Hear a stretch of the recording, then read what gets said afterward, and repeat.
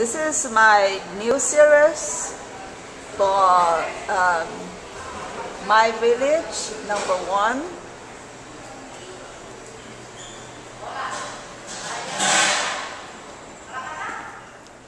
Also, there's number two, number three, number four, the whole series. It's called My Village. This is based on the suburbs of Georgia, Marietta.